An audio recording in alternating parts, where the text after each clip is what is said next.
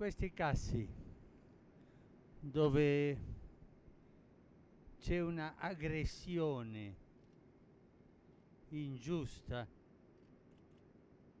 soltanto posso dire che è lecito fermare l'aggressore ingiusto. Sottolineo il verbo fermare. Non dico bombardiare, fare la guerra, fermarlo. Ma dobbiamo avere memoria pure, eh? Quante volte sotto questa scusa di fermare l'aggressore ingiusto, le potenze si sono impradonati dei popoli e hanno fatto una vera guerra di conquista.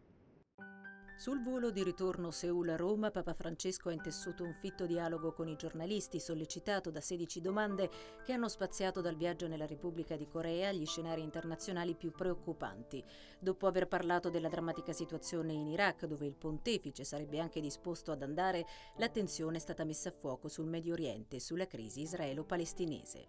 In quella preghiera per la pace assolutamente non è stato un fallimento prima l'iniziativa non è uscita da me. L'iniziativa di pregare insieme è uscita dai due presidenti, del presidente dello Stato di Israele e del presidente dello Stato di Palestina. Adesso il fumo de, delle bombe, delle guerre, non lasciano vedere la porta, ma la porta è rimasta aperta da quel momento. Dinanzi ai tanti scenari di conflitto, alle situazioni di miseria e di disperazione in cui versano tante persone nel mondo, Papa Bergoglio ha anche toccato il tema della tortura.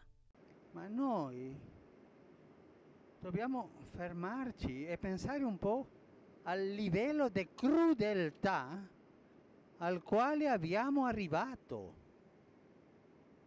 Ma questo si deve spaventare. Ma oggi la tortura è uno dei mezzi quasi, direi, ordinari dei comportamenti delle, dei servizi di intelligenza, de, dei processi giudiziali o e la tortura è un peccato contro l'umanità.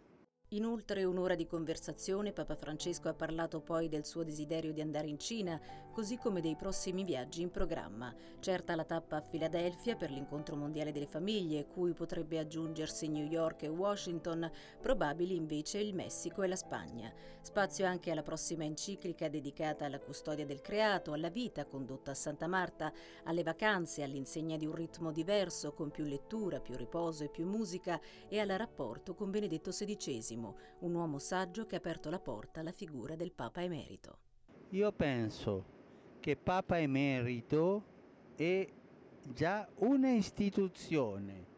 Perché? Perché la nostra vita si allunga e a certa età non, non c'è la, la, la capacità di governare bene perché il corpo si stanca e, ma eh, la salute forse è, è, è buona, ma eh, non, non c'è la capacità di portare avanti tutti i problemi di, di un governo come quello della Chiesa.